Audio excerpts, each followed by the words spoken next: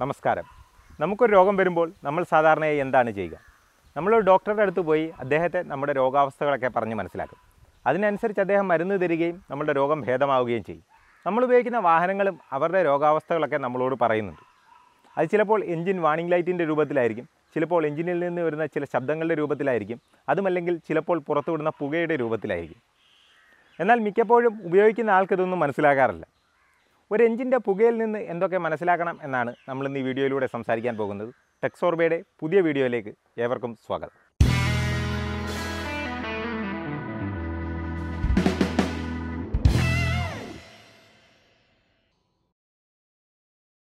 എഞ്ചിനിൽ നിന്ന് പ്രധാനമായും മൂന്ന് തരത്തിലുള്ള പുകയാണ് പുറത്തു പോകുന്നത്. ഒന്ന് കറുത്ത പുക രണ്ട് ഗ്രേയിഷ് അല്ലെങ്കിൽ നീല കളറുള്ള ഒരു പുക മൂന്ന് കനത്ത വെളുത്ത പുക. ആദ്യമായി നമുക്ക് കറുത്ത പുകയുടെ കാരണങ്ങൾ എന്താണെന്ന് നോക്കാം. എഞ്ചിനകത്ത് ഫ്യുവൽ പൂർണമായിട്ടുള്ള രീതിയിൽ കത്താതെ വരുമ്പോഴാണ് കറുത്ത പുക പുറത്തു വരുന്നത്. ഫ്യുവലിനെന്നല്ല ഏതൊരു വസ്തുവിനും പൂർണമായിട്ട് കത്താൻ ആവശ്യം എയറാണ് ഉദാഹരണത്തിന് ഒരു കിലോഗ്രാം പെട്രോൾ കത്തണമെങ്കിൽ ഏകദേശം പതിനഞ്ച് കിലോഗ്രാമോളം എയർ ആവശ്യമുണ്ട്. ഈ എയറിന്റെ അളവ് പതിനഞ്ച് കിലോഗ്രാമിൽ നിന്ന് കുറഞ്ഞ് താഴേക്ക് പോകുന്തോറും പെട്രോൾ പൂർണമായി കത്താതെ വരികയും കറുത്ത പുക പുറത്തു പോവുകയും ചെയ്യുന്നു. ഇനി എയർ ഉണ്ട് എന്നുള്ളതുകൊണ്ട് മാത്രം ഫ്യുവൽ പൂർണമായി കത്തണമെന്നില്ല.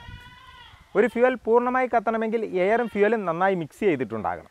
അതുമാത്രമല്ല ഒരു ഫ്യുവൽ ഏറ്റവും എഫിഷ്യന്റും സ്മൂത്തുമായി കത്തുന്ന ടെമ്പറേച്ചർ ആൻഡ് പ്രഷർ സിലിണ്ടറിനകത്ത് എത്തിയതിന് ശേഷമേ ഒരു എഞ്ചിൻ ആ ഫ്യുവലിനെ കത്തിക്കുകയുള്ളൂ. ഇതിനെയാണ് എഞ്ചിന്റെ ടൈമിംഗ് എന്ന് പറയുന്നത്. ഈ എഞ്ചിന്റെ ടൈമിങ്ങിൽ എന്തെങ്കിലും പാകപ്പിഴകൾ വന്നു കഴിഞ്ഞാലും എഞ്ചിനിൽ നിന്ന് കറുത്ത പുക പുറത്തേക്ക് വന്നേക്കാം. ഇതൊക്കെയാണ് കറുത്ത പുക വരാനുള്ള കാരണങ്ങൾ. ഇത് എഞ്ചിനിൽ എങ്ങനെയാണ് സംഭവിക്കുന്നതെന്ന് നോക്കാം. എഞ്ചിനിൽ എയർ കുറഞ്ഞു പോകുന്നു അല്ലെങ്കിൽ ഫ്യുവൽ കൂടിപ്പോകുന്നു എന്നുള്ളതാണ് കറുത്ത പുക വരാനുള്ള പ്രധാന കാരണം. ഒരു എഞ്ചിനിൽ എയർ കുറഞ്ഞു പോകാനുള്ള കാരണങ്ങൾ നമുക്കൊന്ന് നോക്കാം. എഞ്ചിനിലേക്ക് എയർ കടന്നു പോകുമ്പോൾ ആദ്യം നേരിടേണ്ടി വരുന്നത് എയർ ഫിൽറ്ററിനെയാണ് ഈ എയർ ഫിൽറ്റർ ഒരുപാട് അഴുക്കാണെങ്കിൽ അത് കടന്നു പോവുക എയറിന് പ്രയാസമായിരിക്കും. അങ്ങനെ എഞ്ചിനിലേക്ക് പോകുന്ന എയറിന്റെ അളവ് കുറഞ്ഞേക്കാം. അടുത്തതായി എയറിന് നേരിടേണ്ടി വരിക ടെർബോ ചാർജറിനെയാണ്. എഞ്ചിനിലേക്ക് ആവശ്യമുള്ള എയർ അടിച്ചു കയറ്റുന്ന ഒരു ഫാനാണ് ടെർബോ ചാർജർ. ഈ ടെർബോ ചാർജറിന്റെ പെർഫോമൻസ് എന്തെങ്കിലും കാരണം കൊണ്ട് കുറഞ്ഞു കഴിഞ്ഞാൽ എഞ്ചിനിലേക്ക് പോകുന്ന എയറിന്റെ അളവും കുറയും. ഇനി എഞ്ചിനിൽ ഫ്യൂവൽ കൂടാനുള്ള കാരണങ്ങൾ എന്തൊക്കെയാണെന്ന് നോക്കാം. പഴയ പെട്രോൾ എഞ്ചിനുകളിൽ ഫ്യൂൽ കൊടുത്തിരുന്നത് കാർബറേറ്ററുകളാണ്. ഈ കാർബറേറ്ററുകളിൽ വരുന്ന പ്രശ്നമോ അല്ലെങ്കിൽ അതിന്റെ ട്യൂണിങ്ങിൽ വരുന്ന പാകപ്പിഴകളോ ഒക്കെ എഞ്ചിനിൽ നിന്ന് കറുത്ത പുക പുറത്തു പോകാൻ ഇടയാക്കിയേക്കാം. ഡീസൽ വണ്ടികളിൽ ഫ്യൂൽ ഇഞ്ചക്ട് ചെയ്യുന്ന ഇഞ്ചക്ടർ ആണെങ്കിലും അതിന്റെ അളവ് തീരുമാനിക്കുന്നത് ഫ്യൂൽ പമ്പുകളാണ്. ഈ ഫ്യൂൽ പമ്പുകൾക്ക് എന്തെങ്കിലും പ്രശ്നം വന്നു കഴിഞ്ഞാൽ ഇത് കൊടുക്കുന്ന അളവ് മാറുകയും എഞ്ചിനിൽ നിന്ന് കറുത്ത പുക വരാൻ ഇടയാവുകയും ചെയ്യും. എന്നാൽ ഇലക്ട്രോണിക് ഫ്യൂൽ ഇഞ്ചക്റ്റഡ് വാഹനങ്ങളിൽ ഫ്യൂൽ എപ്പോൾ എത്ര ഇഞ്ചക്ട് ചെയ്യണം എന്ന് തീരുമാനിക്കുന്നത് ഇ സി യു ആണ്. ഇത് ഇ സി യു ചുമ്മാതങ്ങ് തീരുമാനിക്കുന്നതല്ല. എഞ്ചിന്റെ കാര്യങ്ങൾ അതായത് എഞ്ചിന്റെ സ്പീഡ് എഞ്ചിന്റെ ലോഡ് എഞ്ചിനിലേക്ക് എത്ര എയർ കടന്നു വരുന്നു എഞ്ചിന്റെ ടെമ്പറേച്ചർ തുടങ്ങിയ കാര്യങ്ങളൊക്കെ ഇ സിയുവിന് പറഞ്ഞു കൊടുക്കുന്നത് എഞ്ചിൻ മാനേജ്മെന്റ് സെൻസേഴ്സാണ്. ഒരു ഉദാഹരണത്തിന് നമുക്ക് ഇ സിയുവിനെ രാജാവായിട്ട് ഉപയോഗിക്കാം ഈ രാജാവിന്റെ തീരുമാനം തെറ്റിപ്പോകാൻ രണ്ട് കാരണങ്ങളുണ്ട്. ഒന്ന് അത് രാജാവിന്റെ തന്നെ പിഴവാകാം. രണ്ട് ഏതൊരു രാജാവിനും മന്ത്രിമാരടങ്ങുന്ന ഒരു ഉപദേശക സംഘമുണ്ടാകും. ഈ ഉപദേശക സംഘത്തിലെ ഏതെങ്കിലും ഒരു മന്ത്രി തെറ്റായ വിവരങ്ങൾ രാജാവിനെ ധരിപ്പിക്കുകയാണെങ്കിൽ അത് രാജാവിന്റെ തീരുമാനത്തെ പ്രതികൂലമായി ബാധിക്കാം ഈ ഉദാഹരണത്തിൽ രാജാവ് ഇ സി യു ഉപദേശക സംഘം എഞ്ചിൻ മാനേജ്മെന്റ് സെൻസേഴ്സുമാണ്. ഇ സി യു കൊടുക്കുന്ന ഫ്യൂവലിന്റെ അളവ് തെറ്റിപ്പോകാൻ രണ്ട് കാരണങ്ങളാണുള്ളത്. ഒന്ന് അത് ഇ സി യുവിന്റെ തന്നെ പിഴവായിരിക്കാം. രണ്ട് ഇതിലേതെങ്കിലും ഒരു എഞ്ചിൻ മാനേജ്മെന്റ് സെൻസർ എഞ്ചിന്റെ ഡേറ്റ തെറ്റായി ഇ സി യുയിലേക്ക് ട്രാൻസ്മിറ്റ് ചെയ്യുന്നതുമാകാം. ഫ്യൂവൽ ഇഞ്ചക്റ്റഡ് വണ്ടികളിലെല്ലാം ഒരു ഫ്യൂവൽ റിട്ടേൺ പൈപ്പ് ഉണ്ടാകും. ഈ ഫ്യൂവൽ റിട്ടേൺ പൈപ്പിൽ ഒരു ഫ്യൂവൽ പ്രഷർ റെഗുലേറ്റർ വാൽവും ഉണ്ടാകും. ഫ്യൂവൽ പൈപ്പുകളിലും ഫ്യൂവൽ റെയിലുകളിലും കോൺസ്റ്റന്റ് പ്രഷർ മെയിന്റെയിൻ ചെയ്യാൻ വേണ്ടിയാണ് ഈ സംവിധാനം കൊടുത്തിരിക്കുന്നത്. ഈ ഫ്യൂവൽ റിട്ടേൺ ലൈൻ ബ്ലോക്ക് ആവുകയോ ഫ്യൂവൽ പ്രഷർ റെഗുലേറ്റിംഗ് വാൽവ് ശരിയായി പ്രവർത്തിക്കാതെ വന്നാൽ ഇ സി യു വിചാരിക്കുന്നതിലും കൂടുതൽ ഫ്യൂവൽ എഞ്ചിനുള്ളിലേക്ക് ഇഞ്ചക്ട് ചെയ്യപ്പെട്ടേക്കാം. അത് വീണ്ടും കറുത്ത പുക വരാൻ ഇടയാക്കിയേക്കാം. അടുത്തതായി കറുത്ത പുക വരാനുള്ള കാരണമായി നമ്മൾ കണ്ടുപിടിച്ചത് എയറും ഫ്യൂവലും നന്നായി മിക്സ് ചെയ്യാത്തത് മൂലമാണ്. പഴയ പെട്രോൾ എഞ്ചിനുകളിലൊക്കെ എയറും ഫ്യൂവലും മിക്സ് ചെയ്യിക്കുന്നത് കാർബറേറ്റർ നോസിലാണ് എന്നാൽ ഫ്യൂവൽ ഇഞ്ചക്റ്റഡ് വണ്ടികളിലൊക്കെ എയറും ഫ്യൂവലും മിക്സ് ചെയ്യിക്കുന്നത് ഇഞ്ചക്ടറുകളാണ് എഞ്ചിനിലേക്ക് കടന്നു വരുന്ന എയറിലേക്ക് ഫ്യുവൽ ശക്തമായ പ്രഷറോടെ സ്പ്രേ ചെയ്യുകയാണ് ഇഞ്ചക്ടറുകൾ ചെയ്യുന്നത്. ഇതിനെ അറ്റോമൈസേഷൻ ഓഫ് ഫ്യുവൽ എന്ന് പറയുന്നു. ഈ ഇഞ്ചക്ടറുകളിലെ ഏതെങ്കിലും ഒരു അറ്റോമൈസിംഗ് ന്യൂസിൽ ബ്ലോക്ക് ആവുകയോ ഈ ഫ്യുവൽ എയറിലേക്ക് സ്പ്രേ ചെയ്യുന്ന പ്രഷർ കുറഞ്ഞു പോവുകയോ ചെയ്തു കഴിഞ്ഞാൽ എയറും ഫ്യുവലും നന്നായി മിക്സ് ആകില്ല. അത് വീണ്ടും കറുത്ത പുക വരാൻ ഇടയാക്കിയേക്കാം. അടുത്തതായി നമ്മൾ സംസാരിച്ചത് എഞ്ചിൻ ടൈമിംഗ് തെറ്റിപ്പോകുന്നതിനെ പറ്റിയാണ്. എഞ്ചിന്റെ ടൈമിംഗ് എന്നതുകൊണ്ട് നമ്മൾ ഉദ്ദേശിക്കുന്നത് വാൽവുകൾ എപ്പോൾ തുറക്കുന്നു അടയ്ക്കുന്നു ഇഞ്ചക്ഷൻ എപ്പോൾ സ്റ്റാർട്ട് ചെയ്യുന്നു അവസാനിക്കുന്നു സ്പാർക്ക് എപ്പോൾ കൊടുക്കുന്നു എന്നൊക്കെയാണ്. ഇനി എഞ്ചിന്റെ ടൈമിംഗ് ശരിയാണെങ്കിലും വാൽവുകൾ ഏതെങ്കിലും ലീക്ക് ചെയ്യുന്നുണ്ടെങ്കിൽ ഫ്യൂവൽ കത്താൻ ആവശ്യമായിട്ടുള്ള കംപ്രഷൻ പ്രഷർ നമ്മുടെ സിലിണ്ടറിനകത്ത് ഉണ്ടാവുകയില്ല. അങ്ങനെ വരുമ്പോൾ ഫ്യൂവലിന് പൂർണമായി കത്താനാകാതെ വരികയും കറുത്ത പുക വരികയും ചെയ്യും. ഇനി ഈ പ്രശ്നങ്ങളൊന്നുമില്ലാത്ത വണ്ടികളിൽ നിന്നും കറുത്ത പുക വന്നേക്കാം. അതിന്റെ കാരണം ഇതാണ് നമ്മുടെ എൻജിൻ ഓവറോൾ ചെയ്തിട്ട് ഒരുപാട് കാലമായെങ്കിൽ എൻജിന്റെ ഉള്ളിൽ ഒരുപാട് കാർബൺ ഡെപ്പോസിറ്റ്സ് അഥവാ കരി ഉണ്ടാകും. ഈ കരി കത്തിയും കറുത്ത പുക വരാൻ സാധ്യതയുണ്ട്. ഇതൊക്കെയാണ് ഒരു എഞ്ചിനിൽ നിന്ന് കറുത്ത പുക വരാനുള്ള പ്രധാന കാരണങ്ങൾ. എന്നാൽ നമ്മുടെ എഞ്ചിനിൽ കറുത്ത പുക വരുന്നതിന്റെ എക്സാക്റ്റ് കാരണം കണ്ടുപിടിക്കുന്നതിനെ നമ്മൾ ഫാൾട്ട് ഫൈൻഡിങ് എന്ന് പറയുന്നു. എന്നാൽ ഒരു മെക്കാനിക്കിന്റെ വീക്ഷണത്തിൽ ഫാൾട്ട് ഫൈൻഡിങ് തുടങ്ങേണ്ടത് ചെയ്യാൻ ഏറ്റവും എളുപ്പവും ചിലവ് കുറഞ്ഞുമായ പ്രവൃത്തിയിൽ നിന്നാണ്. അതിന്റെ അടിസ്ഥാനത്തിൽ ഈ കാരണങ്ങൾ റീഅറേഞ്ച് ചെയ്താൽ ഏകദേശം ഇങ്ങനെയിരിക്കും അടുത്തതായി എഞ്ചിനിൽ നിന്ന് പുറത്തു വരാൻ സാധ്യതയുള്ള പുകയാണ് ലൈറ്റ് ഗ്രേയിഷ് അല്ലെങ്കിൽ ബ്ലൂയിഷ് ആയിട്ടുള്ള സ്മോക്ക് എഞ്ചിനിൽ ഓയിൽ കത്തുന്നത് മൂലമാണ് ഇങ്ങനെ ഉണ്ടാകുന്നത്. ഈ പുക വരുമ്പോൾ പലപ്പോഴും ഓയിൽ കത്തുന്ന ഒരു സ്മെല്ലും നമുക്ക് അനുഭവപ്പെട്ടേക്കാം. നിങ്ങളുടെ എഞ്ചിനിൽ ഓയിൽ കത്തുന്നുണ്ടെങ്കിൽ എഞ്ചിനിലെ ഓയിൽ ലെവൽ കുറയുന്നതായി നിങ്ങൾക്ക് കാണാൻ സാധിക്കും. അതുമല്ലെങ്കിൽ പൂക്കുള്ളിൽ നിന്ന് കരിയെടുത്ത് പരിശോധിച്ചാൽ അതിൽ ഓയിലിന്റെ അംശം കാണാൻ സാധിക്കും. നിങ്ങളുടെ വണ്ടിയിൽ ഓയിൽ കത്തുന്നുണ്ട് എന്ന് ഉറപ്പായാൽ നിങ്ങൾ ചെയ്യേണ്ടത് കൂടെ കൂടെ എഞ്ചിൻ ഓയിൽ ലെവൽ ചെക്ക് ചെയ്യുക എന്നുള്ളതാണ്. എഞ്ചിൻ ഓയിലിന്റെ ലെവലിൽ ഗണ്യമായ കുറവ് വരുന്നുണ്ടെങ്കിൽ ആ വണ്ടി ഓടിക്കാതിരിക്കുക. നിങ്ങൾ ഓടിച്ചുകൊണ്ടിരിക്കുമ്പോൾ എഞ്ചിൻ ഓയിൽ കുറഞ്ഞു പോവുകയും എഞ്ചിൻ ലൂബ്രിക്കേഷൻ ഇല്ലാതെ സീസായി പോവുകയും ചെയ്യും. ഒരു എഞ്ചിനകത്ത് എഞ്ചിൻ ഓയിൽ കത്താനുള്ള സാഹചര്യങ്ങൾ എന്താണെന്ന് നമുക്കൊന്ന് നോക്കാം. സിലിണ്ടറിനുള്ളിൽ ഫ്യൂൽ കത്തി പവർ പ്രൊഡ്യൂസ് ആകുന്ന സ്ഥലത്തെ പറയുന്നത് കമ്പഷൻ സ്പേസ് എന്നാണ്. ഈ കമ്പഷൻ സ്പേസിന് മുകളിലുള്ള സ്ഥലമാണ് സിലിണ്ടർ ഹെഡ്. അതിന്റെ താഴെയുള്ള സ്ഥലമാണ് ക്രാങ്കേസ് ഈ സിലിണ്ടർ ഹെഡിലും ക്രാങ്കേസിലും ഓയിലുണ്ട്. സിലിണ്ടർ ഹെഡിൽ വാൽവുകൾക്കും ഇഞ്ചക്ടറിനും സ്പാർക്ക് പ്ലഗിനും ഒക്കെ പോകാൻ വേണ്ടിയുള്ള ഓട്ടകളുണ്ട്.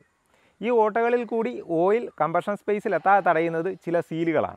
ഈ സീലുകൾ ചിലപ്പോൾ വാൽവ് സ്റ്റെം സീലുകളുടെ രൂപത്തിലായിരിക്കും ചിലപ്പോൾ ഓറിങ്ങുകളുടെ രൂപത്തിലായിരിക്കും അതുമല്ലെങ്കിൽ വാൽവ് ഗൈഡുകളുടെ രൂപത്തിലായിരിക്കും. ഈ സീലുകൾക്ക് എന്തെങ്കിലും പ്രശ്നം വന്നു കഴിഞ്ഞാൽ സിലിണ്ടർ ഹെഡിലുള്ള ഓയിൽ കമ്പഷൻ സ്പേസിലേക്ക് വരികയും അവിടെ വെച്ച് കത്താനും സാധ്യതയുണ്ട്. ഇനി ക്രാങ്കേസിലുള്ള ഓയിലിനെ കമ്പഷൻ സ്പേസിലേക്ക് പോകാതെ തടയുന്നത് പിസ്റ്റൺ റിങ്ങുകളാണ് യഥാർത്ഥത്തിൽ ക്രാങ്കേസിനെയും കമ്പഷൻ സ്പേസിനെയും തമ്മിൽ വേർതിരിക്കുന്നത് പിസ്റ്റൺ റിങ്ങുകളാണ് പിസ്റ്റൺ റിങ്ങുകൾ ഉണ്ടായതുകൊണ്ടാണ് ഫ്യൂവൽ കത്തി ഉണ്ടാകുന്ന ഹൈ പ്രഷർ ഗ്യാസസ് ക്രാങ്കേസിലേക്ക് പോകാതിരിക്കുന്നതും ക്രാങ്കേസിൽ നിന്നുള്ള ഓയിൽ കമ്പഷൻ സ്പേസിലേക്ക് പോകാതിരിക്കുന്നത്.